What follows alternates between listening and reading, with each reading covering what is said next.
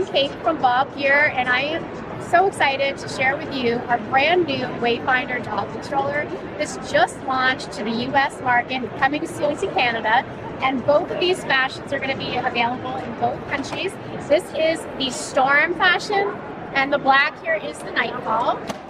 And what is really, really cool about the new Wayfinder jogging stroller is it's made in a more narrow footprint as well as more compact fold for somebody who might live in a city.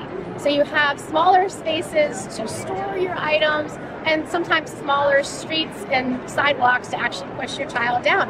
But the really cool thing is that you don't lose any capacity in terms of the child that fits in the seat. So it still holds a 65 pound child and you can also fit about 10 pounds or so of storage down below in the cargo area. Now, speaking of the cargo area, we all bring a lot with us when we're out and about, we have a zip top cover that opens up, great for the city. Again, if you're going out on a hike, it will protect everything that you're bringing with you.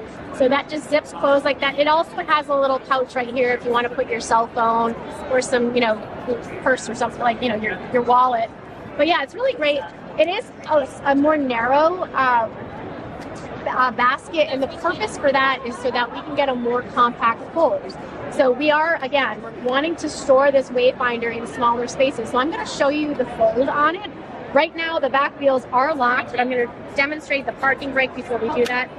It's flip-flop friendly, very easy to use. We want to lock those back wheels right before we fold it. And then it's a one-hand fold see in the front here, I'm just gonna open up the five point harness and then reveal where my handle is. And before I actually fold it, I wanna make sure that my handlebar here is adjusted because that's going to be what helps it stand on its own. So I'm just gonna pop this up like that, and that's gonna be our kickstand. And then it's just gonna collapse when I pull that yellow lever to the right and pull up.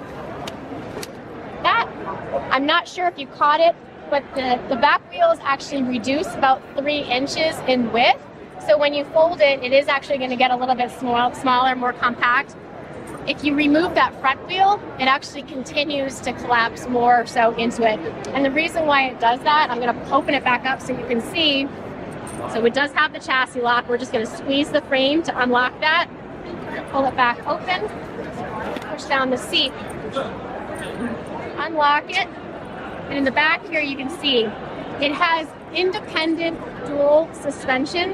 And so when you're, you know, going down a, an all-terrain type of path, and you're only hitting rocks and you know gravel on this side, this suspension right here is going to be what's taking that impact, whereas you're going to get the smooth ride on the other side.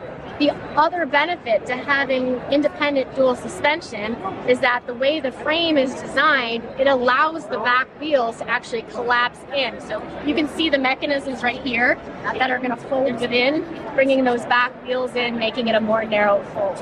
Since we're back here, I'm also going to point out that it does have a nice recline, so you can actually bring the little ones out. When you're running, you're going to want to have that back seat completely upright but if you're just taking them for a walk, it's great, nice and nice recline.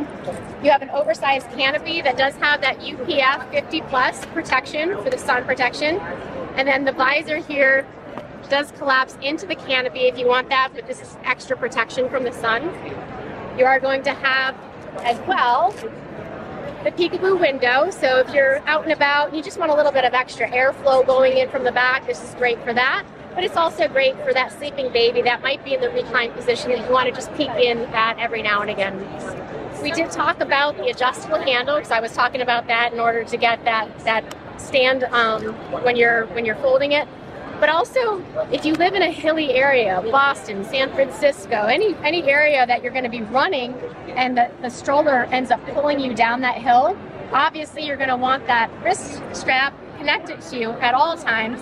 But it has a bike brake on here. Nice, easy to use hand brake. That's just going to be that tapping of the brake to slow the stroller as you're heading downhill. It really does work really well.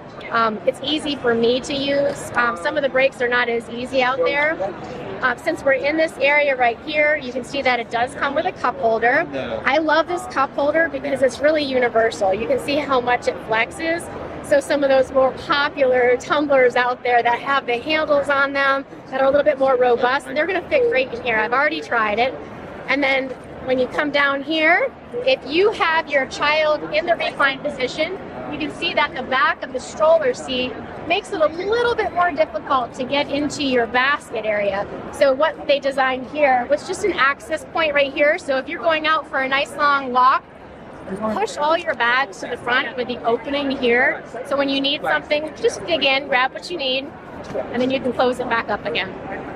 It does have the five point harness. Obviously, it's adjustable. You can see all the adjustment points, which is really important, especially if you're saying that you can use this child, this, this stroller from really birth. You're gonna for birth, you'll use the um, the adapters here. But when the child has head and neck control, there's no actual uh, age that we're putting on that. When you have head and neck control, you can put the child in the harness, adjust it so it fits the child around the hip area as well as in the shoulder area. It's very easy to use, button right here. And then as they're getting older and they have their snacks and their little toys, you do have little cup holders right here, little storage areas. So that is our Wayfinder jogging stroller. Last thing I'll mention is that it is a jogging stroller, so we forgot about the running component. So it is a swivel to lock front wheel. What I absolutely love about this front wheel is that it actually locks inward. We've had a lot of UGC uh, content that's get that's tagged and it's not that the product's not being used correctly because when you're running, you need to have that front wheel locked. All of our other jogging strollers lock out like that. This one right here, when you click that knob, it actually locks the wheel under the stroller, making it easier for runners to actually have more control over that jog. You always want to have this locked because that's what's going to give you the stability. And the last thing that I'll mention is this knob right here is our tracking knob. A lot of people over like they overlook this feature and they complain to us that maybe the jogging stroller is veering to the right or veering to the left and it's such a simple adjustment. All you need to do is get your stroller in that locked position, turn it to the right if it's veering in one direction, turn it to the left if it's veering in the other, and you can just literally adjust it right until it's a straight line again. It's right around 30 pounds, so it's very competitive with the other strollers on the market. And it does, like I mentioned, um, hold up to 65 pounds, and the overall width of the stroller is 25 inches.